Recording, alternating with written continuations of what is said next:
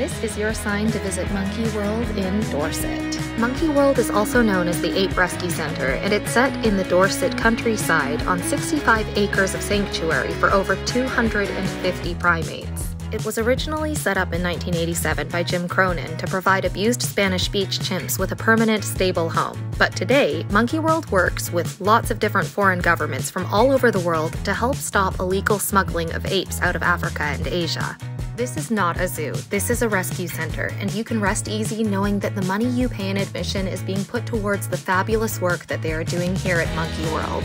It's perfect for adults and kids of all ages.